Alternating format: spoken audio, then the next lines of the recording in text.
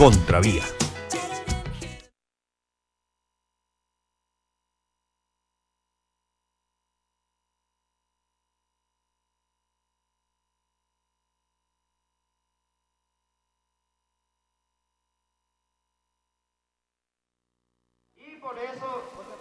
la cantamos con energía, con el orgullo, con esas ganas de expresar nuestro sentido de autonomía, hacer respetar nuestros derechos hacia la autonomía. ¡Que viva el movimiento indígena! ¡Que viva!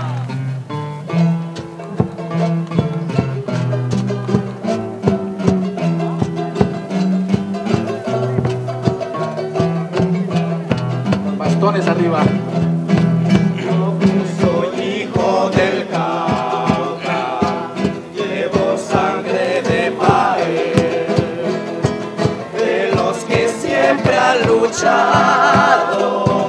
De la conquista hasta hoy, de los que siempre han luchado,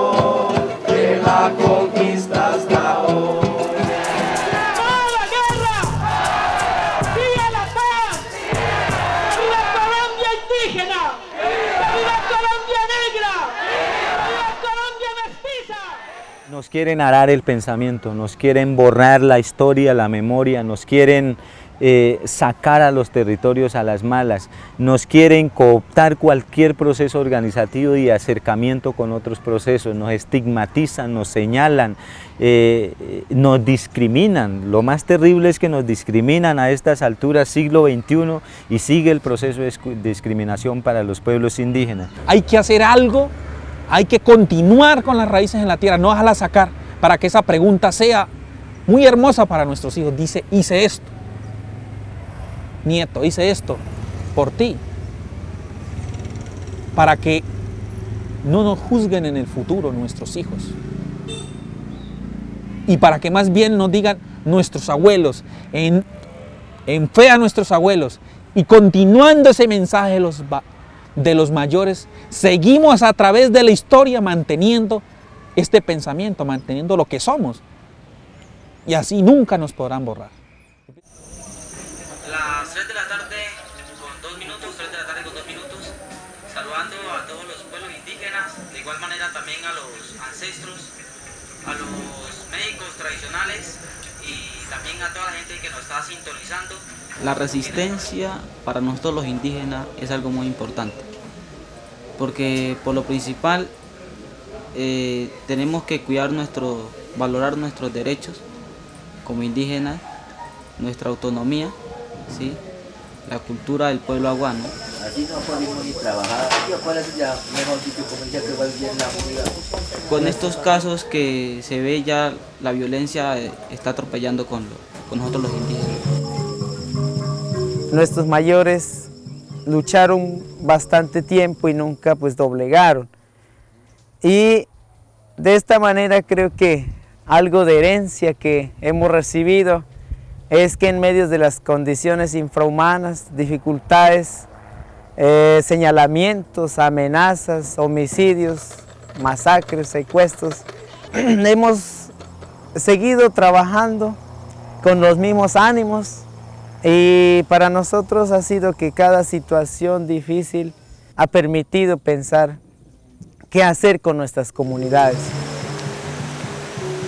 sentirnos de verdad, desde corazón nos sentamos que sí somos indígenas y que por nada del mundo podamos vestirnos la mejor ropa, pero seguir siendo indígena, eh, de nuestro corazón sea que, nos, que de verdad queramos ese- esa, esa, que nos sienta aquí en el corazón de nuestra montaña, que no rechacemos porque no hay plata, porque en este momento la gente, eh, juventud, algunas mujeres dicen eh, la organización no cae plata o que la educación que hay, pues no hay plata. Eso, eso hace que la gente hace pensar mal y hemos dicho nosotros la plata está en nuestra mano, está en nuestra selva.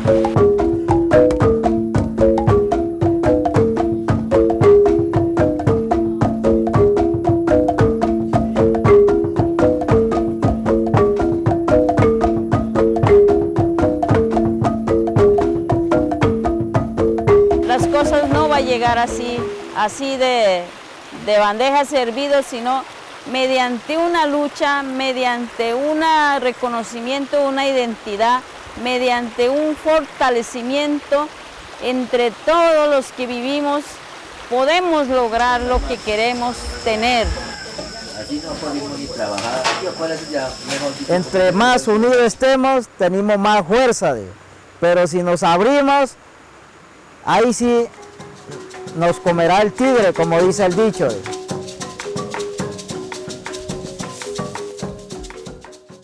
Pero a pesar de toda esa situación contradictoria, peligrosa, desafiante, terrible para nosotros, nosotros seguimos caminando en la resistencia. ¿Y cómo lo vamos a hacer? Lo vamos a hacer movilizándonos porque es la única posibilidad que nos deja el Estado colombiano. Nos vamos a, a, seguir resistiendo, conversando, dialogando, acercándonos con otros sectores. Nos vamos a seguir, vamos a seguir en este proceso de resistencia aprendiendo a caminar juntos, porque hemos reconocido Solos no podemos, tenemos que acercarnos con otros procesos, personas y movimientos que también piensan eh, y sueñan con la construcción de un mundo más justo. Tenemos que estar preparados políticamente nuestra gente. Por lo tanto, entonces, se capacita nuestro pueblo en la gobernabilidad. Se forma a los, a los compañeros indígenas de manera que puedan hacer valer los derechos en cualquiera de los rincones, en cualquier, en cualquier parte de, del Chocó, del país y del mundo.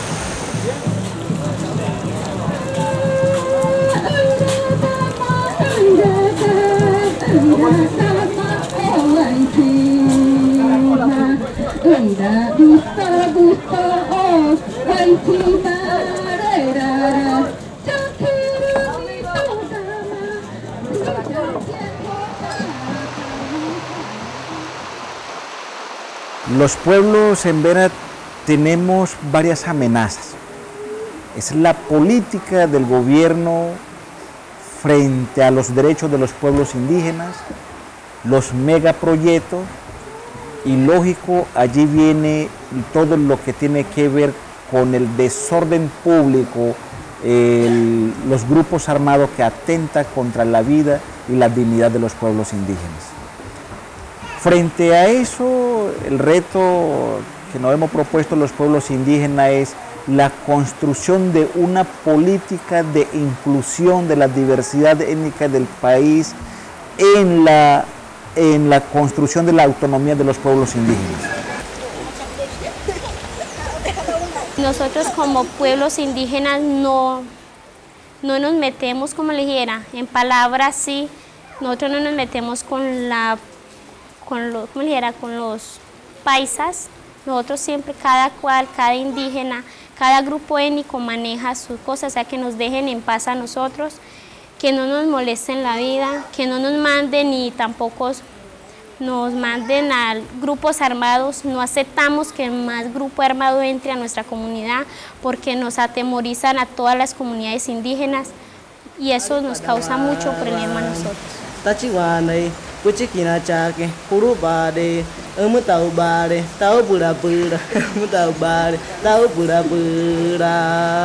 La resistencia no es quedarse en el territorio allí esperando que suceda algo, sino es que es una resistencia activa que plantean, que proponen alternativa de salida y solución frente a los territorios y a la política del Estado.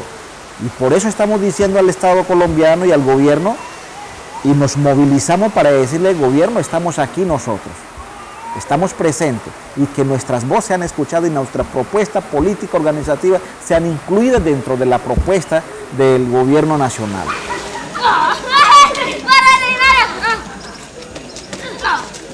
Para el futuro mío, quisiera ser alguien que representara a todas las comunidades indígenas. Una persona y ser una gran líder que saque adelante a los indígenas para que nosotros no perdamos el esfuerzo, sino que cada vez sigamos unidos como pueblos indígenas.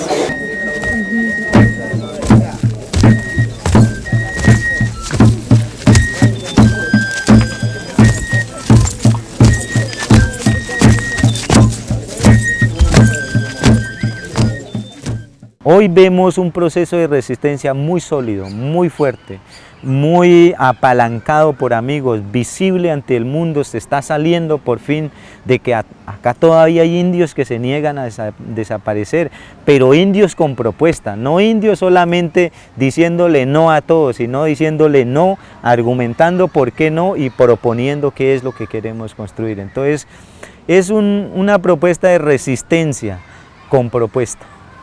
Yo creo que resistencia con propuesta, pero una propuesta abierta, incluyente, no propuestas impuestas, no queremos imponernos por encima de todos nosotros, sino que queremos construir propuestas con todo. Y yo creo que ese es el camino que nosotros le dejamos, ese es el aporte que nosotros le hacemos a la sociedad colombiana, llamando al entendimiento, llamando a que nos acerquemos, nos conozcamos, establezcamos unos lazos de confianza, de entendimiento. Yo creo que hay que conocernos más.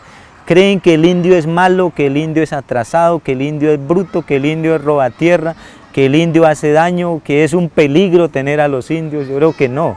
Yo creo que los indios simplemente lo que le aportamos es toda una historia, toda una parte espiritual al resto de la sociedad colombiana. No es suficiente tener el espíritu y las manos fuertes, ser guerreros. También hay que fortalecer el corazón porque se está perdiendo el conocimiento, se puede perder los valores y es cuando habla de los programas de educación, de los programas de, el programa, la plataforma de lucha habla de formar profesores bilingües y de hacer valer las leyes sobre indígenas y valorar las costumbres, fortalecer las costumbres y el idioma. Y el idioma en ese sentido como elemento fundamental que hace que los valores de que la resistencia educativa en los pueblos se mantenga.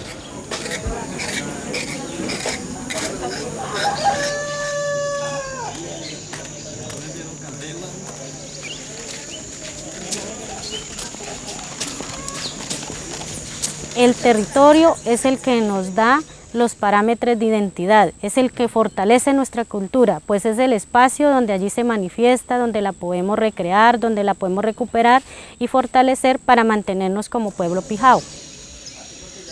La lucha no descansa, la lucha sigue. Y la tierra, no, la familia crece, pero la tierra no, la tierra no crece. Entonces tendrán que los hijos de nosotros seguir en la misma. No nos pongamos a esperar que el gobierno nos dé. El gobierno lo que dé es plomo, hambre, pero soluciones sociales no dan.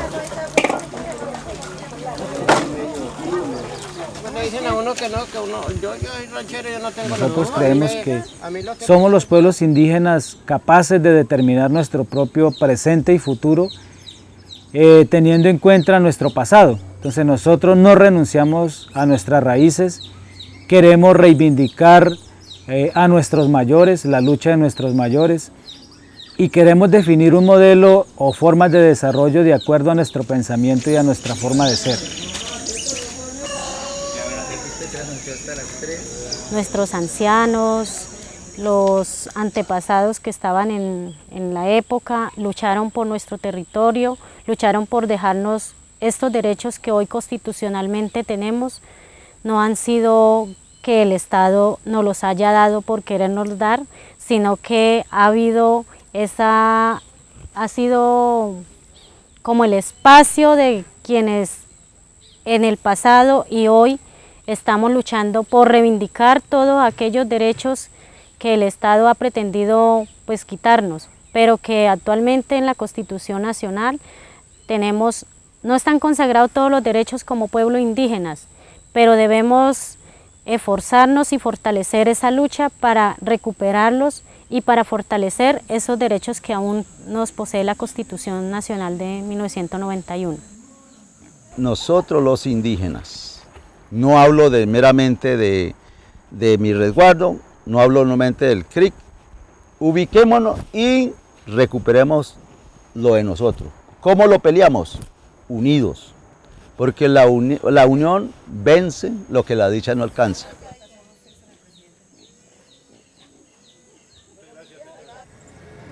¿La tierra que estamos defendiendo acaso es para nosotros? ¿Los recursos ambientales que estamos defendiendo acaso es para nosotros?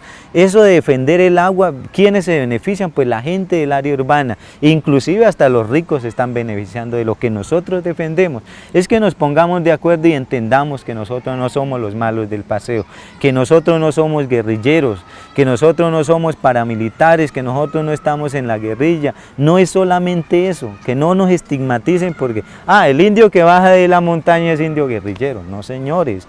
Allá hay una gente que lucha inclusive con ellos. Gente que siembra, que le aporta alimentos a la, a la gente del área urbana. Y sobre todo, lo más importante es gente que construye propuestas para el resto de la sociedad colombiana.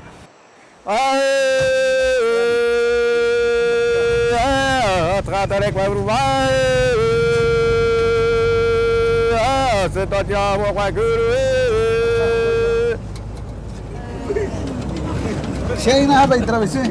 Una es que tac tac.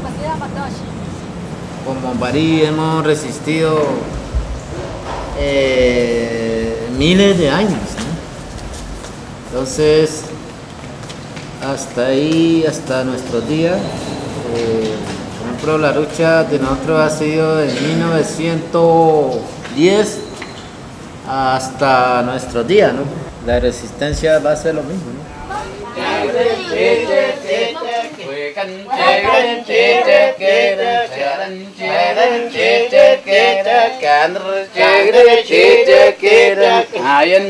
Venimos pelea casada, ¿no? Con la petrolera. La pelea no es con otras cosas, sino a es a eso, por defender la tierra, por mantener la tierra, ¿no? De nosotros, porque de- nos vienen despojando desde, desde, desde- desde- ¿qué? desde Cúcuta para acá.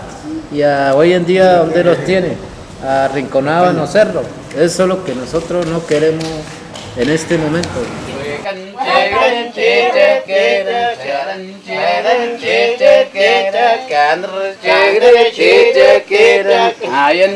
En este momento nos están diciendo nosotros vamos a entrar a la, a la buena o a la mala. Vamos a explorar. Entonces, ¿qué quiere decir para nosotros? Eh, para nosotros es una amenaza más, ¿no? Cuando nos dice así. Y no es, no es bien recibido por parte de los barí. Y por lo tanto, entonces, este, si es así, hemos, internamente hemos hablado, si es así, vamos a actuar como, como tiempos de, de la historia, ¿no? Porque si nosotros seguimos con las teorías y con las teorías, entendemos las teorías son muy buenas, ¿no? Por ejemplo, las leyes nacionales, internacionales, son muy buenos. ¿Por qué, por qué vamos a echar de menos, no? Eh, o sea, son dos herramientas que pueden servir, ¿no? Pero especialmente para parar el problema, pensamos que no. Yo ba que y toca respetar. El cacique está manejando el territorio.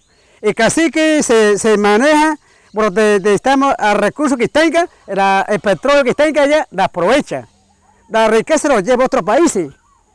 Aquí, ¿cómo va a quedar? Haga cuenta imagen tenemos de Tibú no era arreglar una carretera ni nada ya, y lo llevar a otros países. Por eso la tuve que llevar mi persona. Por eso nosotros sufrimos. El cacique no toque de, de autonomía que tenga, toque respetar a uno.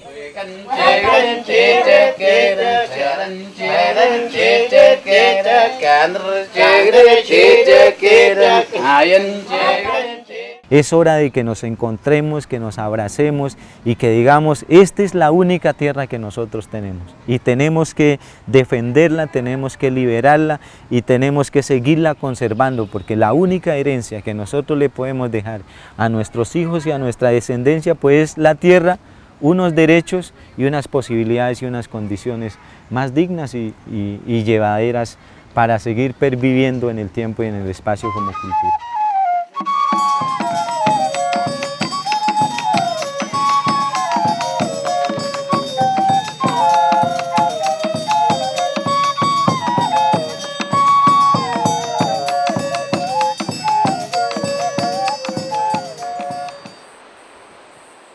Nos encontramos casi que atrapados en nuestro propio territorio por unos actores armados que no entienden nuestra forma de vida, que no entienden este proceso de alternativo que queremos construir nosotros y compartirlo con todo el mundo y que no entiende que queremos vivir felices, nosotros simplemente queremos vivir felices. ¿Cómo lo queremos hacer? Pues que nos dejen vivir felices, que no nos metan en la guerra, que esa guerra practíquelan entre ellos, que nada nos conviene a nosotros, pero que nos afecta a nosotros, que nosotros somos las víctimas de todos esos atropellos y conflictos que venimos padeciendo como pueblos indígenas. Entonces, esa es la realidad que nosotros vemos.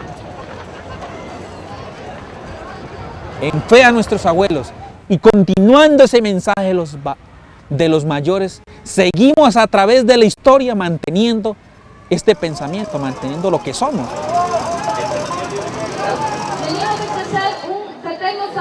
De toda esa resistencia, de la estratégica, de la política, de la educativa, hay una resistencia central que hace que los pueblos se mantengan y que es la resistencia espiritual y cultural.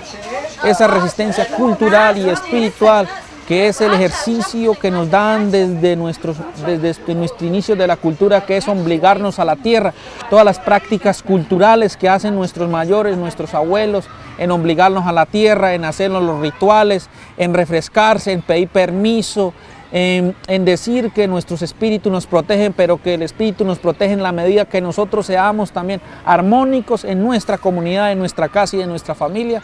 En ese sentido, podemos decir que la resistencia espiritual y cultural tiene que ver con el corazón. Porque el ser NASA y el ser humano debe compartir los conocimientos que adquirimos como personas.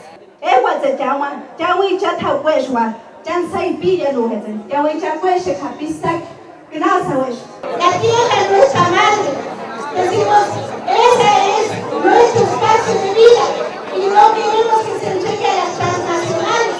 Hemos sabido entender y hemos reconocido también que la mujer es el pilar fundamental para el proceso organizativo y resistencia en la lucha. Lo demostró la gaitana, lo demostró la cacica eh, lo, lo, lo, demostró Rosa Elena Toconás, lo demostró múltiples mujeres que también han caído en este proceso de lucha.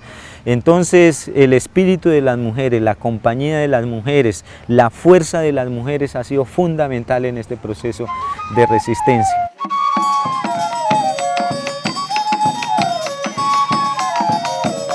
La Guardia Indígena retoma todos esos elementos que del inicio se han dado y los hace vivos en esta, en esta, en esta época, debido al conflicto. Entonces podemos decir que nosotros encarnizamos a esos guerreros de, de la gaitana, pero los encarnizamos en ese sentido integral, de que hay que preparar las manos para poder resistir, hay que saber correr, hay que saberse mover, hay que saber ser ágil en la tierra, hay que saber ser ágil en la noche, pero no es suficiente esa parte. Se necesita tener un corazón, se necesita tener una cabeza bien formada, política, crítica, para saber qué es lo que defiende, por qué corre, por qué resiste, qué es lo, cuál es el proyecto político de la organización.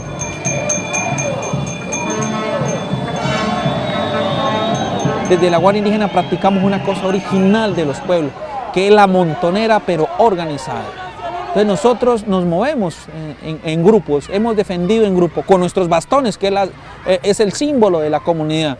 Nosotros cuando nos ven con los bastones, la comunidad se siente protegida porque dice, es un símbolo de protección. El bastón para la Guardia Indígena es un símbolo de protección, de cuidado, de protección, de aviso, de sensibilización frente a las situaciones difíciles que pasan, pero también es sensibilización frente a lo que tenemos.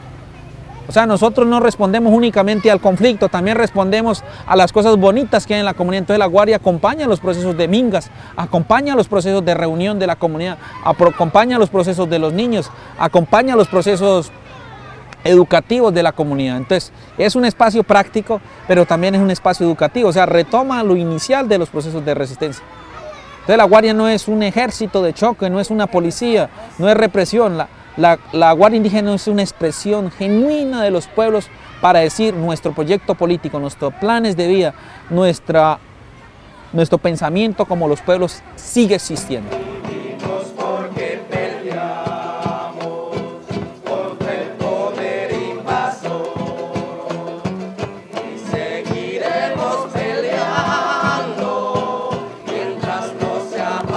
Somos fuertes en la medida que podamos caminar juntos. Somos fuertes en la medida que podamos discutir, pensar y debatir juntos. Y somos fuertes en la medida que estemos unidos frente a un propósito común. Si nos unen lazos, si nos unen ideas, si nos unen pensamientos, si nos une la tierra, nos une el territorio, vamos a poder resistir y le estamos apostando a eso. Eso es lo que venimos construyendo. Espíritu de las flores, protégenos, cuídanos, hállanos. Espíritu de las flores, embriáganos de dulzura, alimentanos, consuélanos, que nos están persiguiendo, que nos están matando.